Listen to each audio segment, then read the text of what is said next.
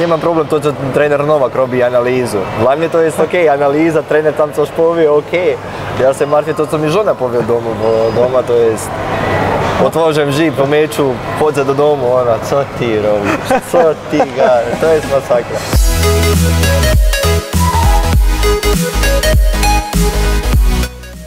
Przerwa na kawę, jesteśmy podobnie w kawiarni Soul Coffee, tym razem naszym gościem jest y, Tomi Bozic. Dzień dobry, dzień dobry. Tomi, y, kawa to nieodzowny atrybut twój, można powiedzieć. Y, Powiedziałeś nam poza kamerą, że nie zaczynasz dnia bez kawy. Tej rozmowy także bez y, kawy nie zaczęliśmy. Nie, w Chorwacji jest tak, że po prostu zamawiasz kawę i później jak przychodzi kawa, to już zaczyna się rozmowa, tak. Bez kawy to się nie da, da się gadać, nie ma szansy, tak. Że z kawą szalską zaczyna dzień, z kawą zaczynamy dzień, a, a zawsze po obiadu to to samo. Kawa jest naszym, a, no po prostu nasze Ile dziennie to, co mi? No, nie wiem, zależy.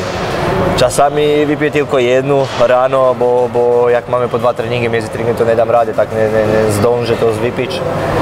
A jak nie mam dwa treninga, tak jak mam popołudnie wolne, to czasami tak zdarza mi się po 3-4 kawy dziennie. Jaka dzisiaj, teraz? No so coffee, najlepsza. No. Ale jakieś espresso? E, Espresso macchiato dzisiaj, Aha. trochę. Drugi trening ma być silny, także jak jest jeden, tak jak mówiłem, teraz jesteśmy na kawie, to muszę wypić kawę, tak? Muszę trochę reklamu dać so coffee, to tak żartuję, nie, ale naprawdę teraz, teraz drugi trening będzie silny, to, to muszę, żeby się pobudzić trochę. A tu nie chodzi tylko o kawę, chodzi też u Was, y, u Chorwatów, y, o czas spędzany przy kawie, prawda? O towarzystwo. Jest taka celebra picia kawy. Tak.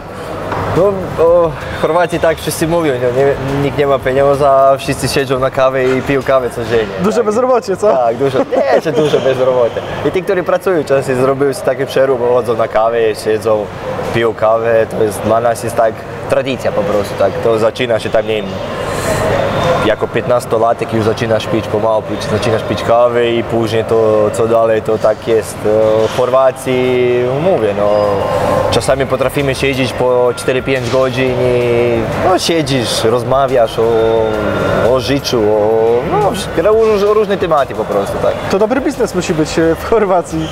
Taka Chorwacji? kawiarnia, nie myślisz, żeby może otworzyć y, kawiarnię? Jak nie? Może no nie ma szansy, bo to jest tam w Chorwacji każdy, każdy, który mieszka, mieszkańc ma swoją kawiarnię tam zrobioną. Y, To jaka jest ta Twoja okolica najbliższa, ta chorwacka, Twoje miasto? Tam e, jest y, duże życie, szybkie życie, czy to jest takie spokojne miejsce? Ja teraz mieszkam, miasto jest Samobor. Miasto to jest od razu za, jak jest Zagrzebie, od razu za Zagrzebiem. Także ja mam od swojego miasta do centrum Zagrzebia mam samochodem 10 minut.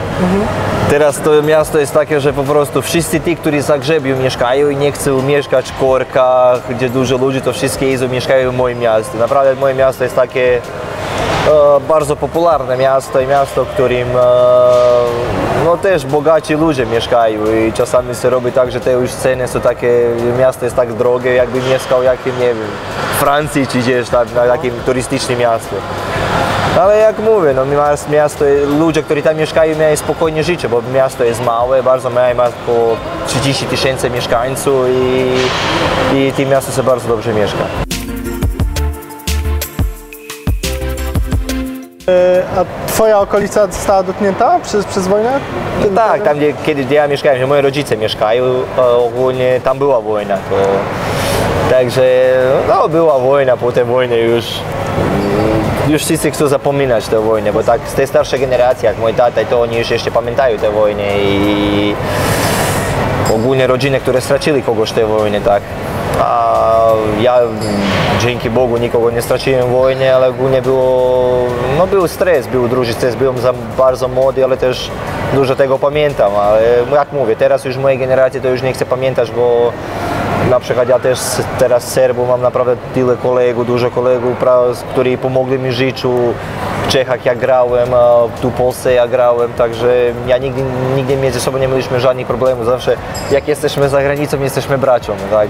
Także po prostu pomagamy się, a jak jesteśmy na Balkanu, no Balkan, Balkan jest Balkan, specyficzny region i jak masz pieniądze, bardzo się dobrze mieszka, tak? Bo twoja żona pilotuje twoją karierę, jest twoim menedżerem. Powiedz, e, jak w praktyce to wygląda? E, Czy często, nie wiem, kłócicie się o to, gdzie ty masz grać? Czy jak te decyzje zapadają? Najgorzej jest to po meczu, że jak żona mówi, że zadowolona, to wiem, że naprawdę zagrałem tak dobry mecz, że to, bo żona, żona by mi powiedziała, że zadowolona, to nie ma szansy, to ciężko, bardzo ciężko się zdarza.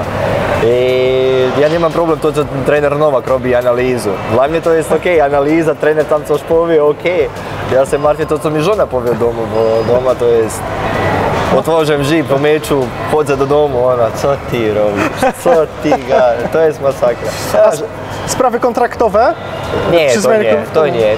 Zawsze mamy, nigdy nie było tak, że ja coś zrobiłem jakieś na, na swoją ręku, jakąś decyzję, zawsze rozmawiamy i ja uważam, że moja żona po prostu ma dużo do powiedzenia, bo żona jest e, naprawdę inteligentna osoba i uważam, że warto, e, daje mi, zawsze mi sugeruje takie uwagi, co mam robić, co nie muszę robić, jak mam na przykład kontrakty, jakie dobre kontrakty podpisywać. Zawsze rozmawiamy o ofertach i nigdy nie było tak, że coś sam na swoim ręku, jakieś, jakieś decyzje. Ale ogólnie tak mówię, że ona naprawdę z mojej kariery jest e, osoba, która dużo mi pomogła i, i, i dzisiaj mi naprawdę dużo pomaga i też bez żony bym nie zrobił to, co, co zrobiłem. Stanisław Wozic był e, gościem programu Przerwa na kawę w kawiarni Sołkowie. Dziękuję.